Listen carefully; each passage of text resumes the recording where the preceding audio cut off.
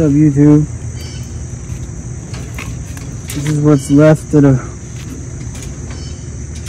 puppies from Tank and Jazzy litter from Big Mack Bully Kamp. She was my American Bulldog, my only one. And my XL Bully, Tank, is the father. He's an XL American Bully. She's an American Bulldog. So, selling these puppies. We had eight of them. I let them go between 750 and 500. We got three left. Uh, two left.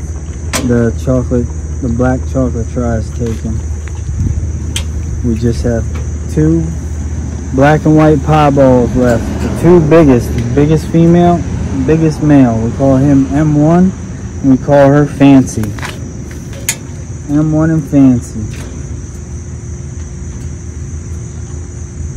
American Bulldog slash American XL Bully pups.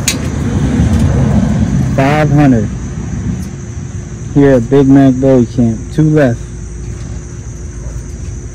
If you like what you see, hit that like button. Hit that subscribe button. You know, it always helps. Support is free. And we love to love, y'all. Keep showing you these puppies. Big Mack Bully Kamp, we're out. Say bye, baby. Say bye, M1. Good boy. M1 and Fancy still available. We love y'all.